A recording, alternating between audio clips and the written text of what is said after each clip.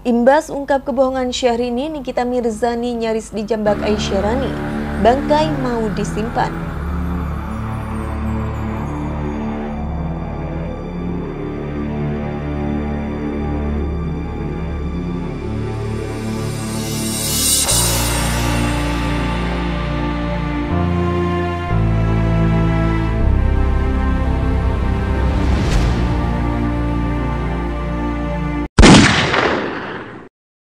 Dapur berita artis terkini. Hai guys, semoga kabar Anda baik-baik saja. Selamat datang kembali di channel Duster Infotainment. Terima kasih karena sudah memberikan support dan juga kesetiaan Anda untuk membangun channel ini. Bangkai mau disimpan. Hubungan Nikita Mirzani dan Syahrini pernah begitu buruk. Bahkan Nikita Mirzani pernah memiliki pengalaman nyaris dijambak oleh adik Syahrini, yakni Aisyah Rani. Semua itu karena adanya sebuah momen saat awal-awal Syahrini dan Reino Barak mengumumkan pernikahan keduanya. Nikita Mirzani teringat bahwa Nikita tahu fakta hubungan Syahrini dan Reino Barak. Menurut wanita yang kerap disapanya itu atau Nikmir itu, Syahrini dan Reino Barak merupakan pasangan yang memulai hubungan saat masih ada hubungan lain di antara mereka. Janda tiga orang anak itu menyebut bahwa Syahrini dan Reinu Barak memulai hubungan mereka berawal dari berselingkuh. Seperti diketahui bersama Reino Barak sebelumnya memiliki hubungan cukup awet dengan artis Luna Maya. Lima tahun hubungan panjang itu berakhir sia-sia karena Luna Maya tak menerima restu dari orang tua Reino Barak. Pada akhirnya Reino Barak dan Syahrini menikah secara tertutup hingga akhirnya menggelar acara mewah di Indonesia. Kala itu sebagai artis yang kerap menguak kisah kelam artis lain, Nikita Mirzani pun membongkar cerita yang tak banyak diketahui publik soal hubungan Reino dan Syahrini. Hal itu diungkapkan Nikita Mirzani di acara Brownies, dituding bikin kontroversi Nyai mengaku sebenarnya tak mau tahu soal pernikahan Syahrini dan Reino Barak. Akan tetapi ia merasa disenggol duluan hingga akhirnya membongkar borok pasangan yang menikah pada 27 Februari 2019 itu. Niki kan sebetulnya dia mau nikah sama siapa aja ya terserah aja, cuma kan caranya, kata Nikita Mirzani. Jadi gini, dia itu Aisyah Rani marah-marah sama sahabat Niki, dia juga marah-marahin Niki, sambungnya kala itu.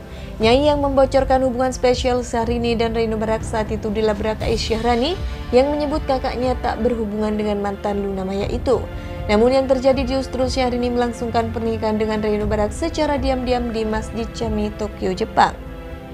Hal itu membuat Nyai terang-terangan menyebut Syahrini adalah selingkuhan Reino Barak sejak masih bersama Luna Maya. Aisyah Rani bilang, lu jangan julid dong kakak gua enggak bakal kawin sama dia, ucap Nikita Mirzani meniru ucapan Aisyah Rani. Kalau sudah salah mah diam aja, namanya bangkai mau disimpan pasti akan kecium juga, sambungnya. Kalau udah pacaran ya pacaran aja, kenapa lu jadi marah-marahin semua orang yang tahu kalau kalian itu selingkuh, tambahnya. Ruben Onsu yang kesal lantas menegur sikap Nikita Mirzani yang dinilai terlalu barbar membongkar aib orang. Maksud gua gini, lu kalau ngomong bener apa enggak sini kalau hoax ada undang-undangnya loh, semprot Ruben Onsu. Gua mah bisa dipertanggungjawabkan sahut janda tiga anak itu. Akibat dari perbuatannya, Nyai juga mengaku hampir dijambak teman Aisyah Rani saat keduanya tak sengaja bertemu.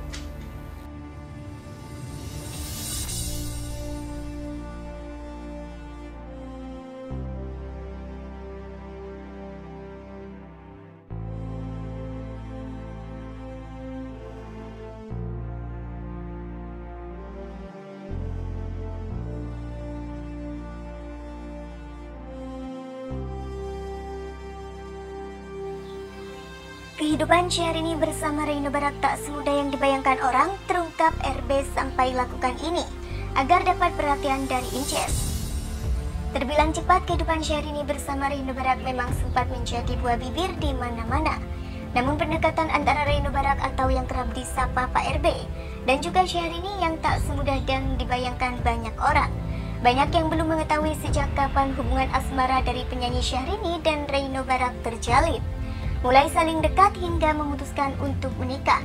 Reino Barak menjelaskan kapan dirinya mulai membuka hatinya pada Syahrini setelah jalinan cintanya bersama bintang film cantik Luna Maya Kandas. Kalau umur segini nggak ada tanggal jadian mulai pacaran. Kami bukan anak SMP atau SMA, awal dekat karena manajer. Adik istri saya yaitu Aisyah Rani.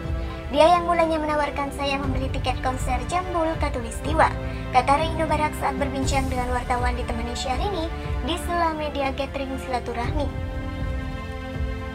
Bermula dari konser 10 tahun perjalanan Syahrini, akhirnya Reino Barak memberanikan diri untuk mengenal lebih jauh Syahrini. Konser Jambul Katulistiwa yang menandai 10 tahun karir bernyanyi Syahrini itu digelar di Plenary Hall Jakarta Convention Center Senayan, Jakarta Pusat. Konser tersebut digelar 8 hari setelah Reino Barak tidak lagi menjadi kekasih dari Luna Maya. Setelah menyaksikan konser itu, Reino Barak mencoba mencari nomor ponsel Syahrini. Ia hanya ingin mengucapkan selamat atas konser tersebut. Saya ngobrol sama Syahrini, lewat chat dan mengucapkan terima kasih karena sudah diundang tapi Aisyah Rani meminta saya mengucapkannya langsung ke Syahrini. Jelas Reino Barat. Tidak lama kemudian Reino Barat menerima nomor telepon langsung Syahrini.